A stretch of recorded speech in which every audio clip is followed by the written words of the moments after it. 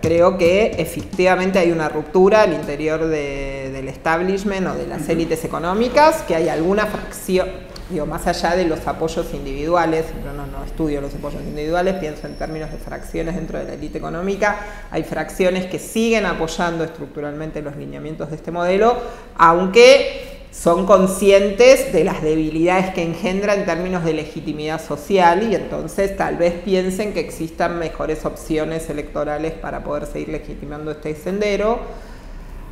Y eso creo que es lo que le pasa a otras fracciones que no son tan beneficiadas por el devenir macroeconómico porque están mucho más vinculadas a la, evolución del consumo interno. Pienso en algunas industriales, algunas alimenticias.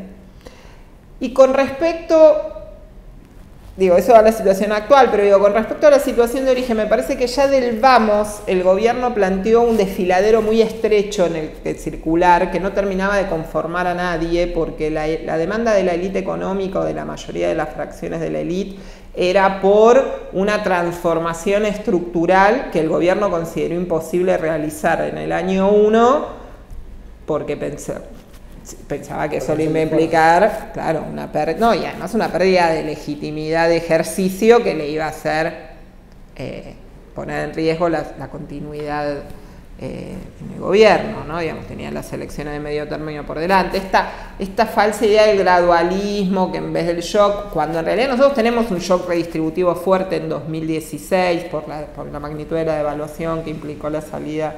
de la apertura del mercado de capitales y del mercado cambiario. Pero en 2017 la estrategia fue no ir a fondo en el recorte del gasto público tal como pedían los sectores más ortodoxos y eso combinado con una política en el Banco Central de control de la inflación muy disonante, digamos,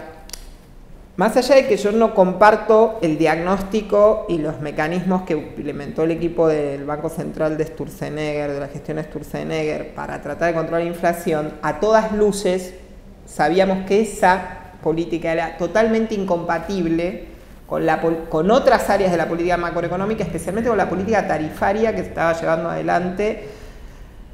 porque le otorgás o sea, querés cumplir al mismo tiempo un conjunto de objetivos que son inconsistentes. Querías bajar la inflación, no puedes recomponer la rentabilidad de las empresas en el año 1 de las empresas energéticas con todo el atraso, entre comillas, tarifario que reclamaban.